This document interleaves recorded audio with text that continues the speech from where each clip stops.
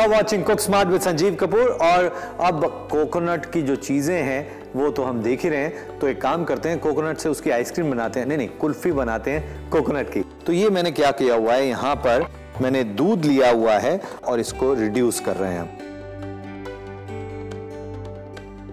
अच्छा इसके साथ साथ और क्या करना है मुझे?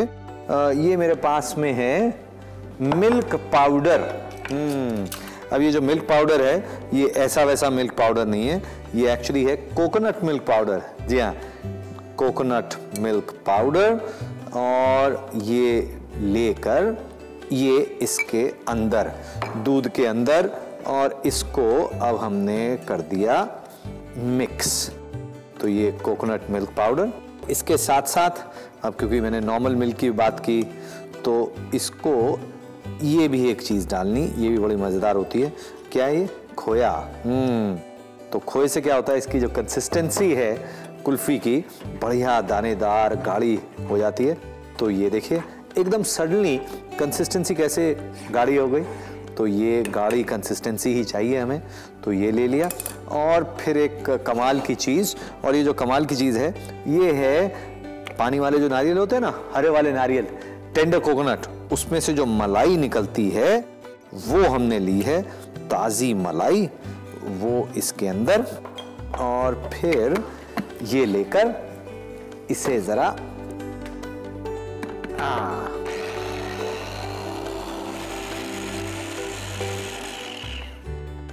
ये हमारे पास तैयारी हो रही है नारियल की कुल्फी की। और इसके अंदर जब पड़ेगा ये फ्रेश नारियल जी हाँ ये फ्रेश नारियल और ये देखिए। मैं क्या करने वाला हूँ, इसके अंदर ग्रेटेड कोकोनट भी थोड़ा डालूँगा, लेकिन बहुत ज़्यादा नहीं, क्योंकि मैंने इसके अंदर जो नारियल है वो दूसरा वाला भी डाला हुआ है। तो ये इसके अंदर, और अब देखिए ये एकदम कैसे बढ़िया से गाढ़ा हो गया है और ये अब आपको पता चल रहा है ना, कुल्फ़ी जो है बड़ी बढ़िया बनेगी। अच्छा कुल्फ़ी तो अच्छी बनेगी, लेकिन इसके अंदर मिठास जब तक नहीं होगी, तब तक कैसे मज़ा आएगा? तो इसके अंदर चीनी और ये चीनी इसके अंदर डाल दी। और फ्लेवर वगैरह कुछ नहीं डालना है इसके अंदर, कोई इलायची, ये वो, कुछ नहीं। वो क्यों? क्योंकि जो कोकोनट है, उसका बड़ा सटल टेस्ट होता है, ख़ासतौर से ठंडा होने के बाद। तो इसलिए उसमें और कोई स्वाद डालने की ज़रूरत नहीं है, कोई और फ्लेवर डालने की ज़रूरत नहीं है तो कोई और फ्लेवर इसके अंदर प्लीज़ ना डालें। सिर्फ़ नारियल का बढ़िया फ्लेवर आने दें और ये इसे ठंडा करके अब कुल्फ़ी के मोल्ड में डालें और इसको मज़े से खाएँ। ना, ऐसे नहीं।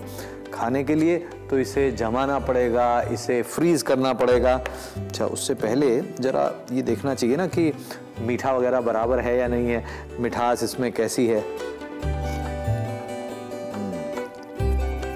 डिलीशियस हम्म, बहुत ही बढ़िया। थोड़ा क्रीमी थोड़ा दानेदार क्योंकि खोया भी इसके अंदर डला हुआ है।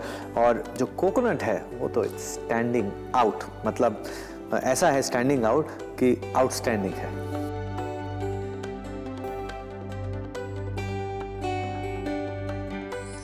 कुल्फ़ी में जो चीज़ें हमने डाली हैं, उसमें जो कोकोनट का फ्लेवर है, उसको ज़्यादा इंटेंस नहीं रखा। थोड़ा सा सटल रखिए, बढ़िया से रखिए। कुल्फ़ी टेस्टी लगेगी। अच्छा एक चीज़ बताता हूँ, अगर पार्टी के लिए आपने कुल्फ़ी तैयार करनी है ना तो एक दिन पहले से तैयार करें। नहीं तो बहुत बारी ऐसे होता है कि डिनर में सब तैयारी हो गई है डिनर ख़त्म हो गया है, लोग कुल्फ़ी का इंतज़ार कर रहे हैं, कुल्फ़ी भी इंतज़ार हो रही है जमने के लिए। और जिस दिन पार्टी होती है ना, उस दिन फ्रिज फ्रीज़र बार बार खुलते हैं और एफिशिएंसी कम हो जाती है। एक दिन पहले अच्छे से जमा के रखें। जी हाँ टेंशन नहीं लेनी चाहिए, ख़ासतौर से डिनर हो तो।